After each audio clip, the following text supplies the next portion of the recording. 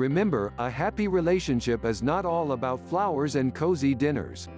To have a satisfying and lasting bond which makes both people feel happy, the partnership needs clarity in communication, respect for each other, and last but not the least, good habits.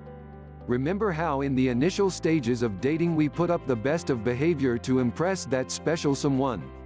Not continuing with that is not only unfair, but also misleading. It is best to continue in the same manner after making a serious commitment, since bad habits could lead to unwanted mistakes which in turn can make a great relationship take a spin for the worse. Here are a few useful tips to keep it real in your relationship. Constantly talking about your ex once you are in a committed relationship you may be expected to be upfront with your partner about your previous affairs.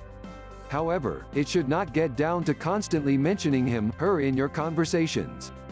Furthermore, comparing your current partner with your ex could result in major cracks in the relationship. Not giving each other enough space. When you are in love, you may want to do everything together. That might be fine early on in the relationship but as you go along in life, too much of togetherness may damage the relationship instead of helping it. A little bit of me time for both will help you to enhance the relationship and at the same time value the time you get to spend with each other. Trying to change your partner. Don't try to improve your partner, thinking that you're doing so for his or her own good. You can never find a perfect person, so don't expect unrealistic changes. Trying to change someone's inherent personality by expecting them to be more social and reduce their shyness or fix their anxiety levels can be an underlying cause and turn into a real issue. Creating drama. Try and avoid creating drama in every small situation.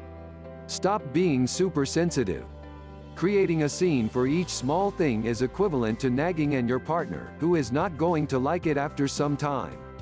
He or she may make attempts to calm you down, agree to your views and pamper you, but all that will stop if they see that you are making a habit out of it. Instead try to ignore small things and whenever you encounter such an issue, breathe slowly to calm down so you can deal with it. Unnecessarily getting into the jealousy mode Trust is a key factor in any relationship, so have faith in your partner and respect them if they want some privacy. Your insecurity may cause you more harm if you keep doubting your partner's intentions.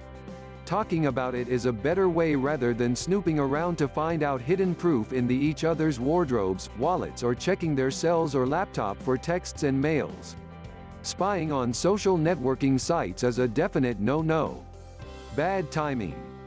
However, if you decide to talk it out take care to decide on a good time and place to have conversations about important issues. Arguing in public is a strict no-no.